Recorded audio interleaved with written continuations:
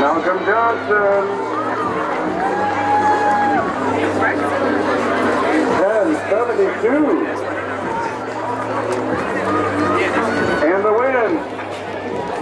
10.4 meters per second at his back. That is a new meet record. Malcolm Johnson takes down the 1075 record, replaces it with 1072.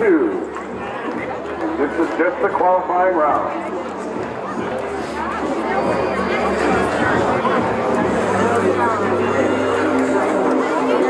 Great things to come in the final. Two more heats runners trying to get into it.